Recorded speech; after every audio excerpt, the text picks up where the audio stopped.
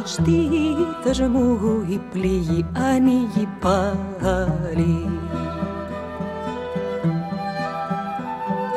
Όταν χαμηλώνουν τα άστρα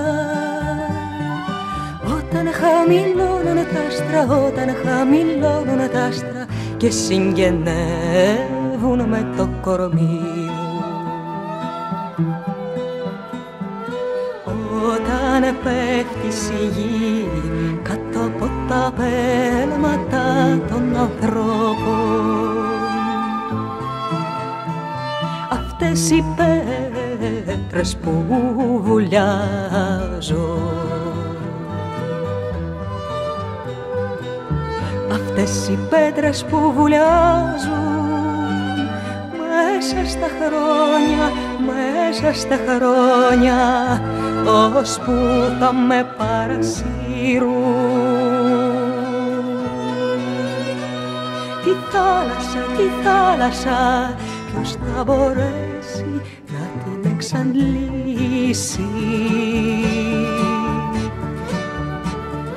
Βλέπω τα χέρια κάθε αυγή να γνεύουν στο γήπα και στο γεράκι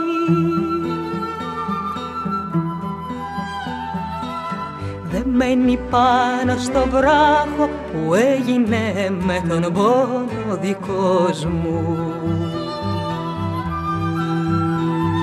Βλέπω τα δέντρα που ανασένουν τη μαύρη γαλήνη των πεθαμένων.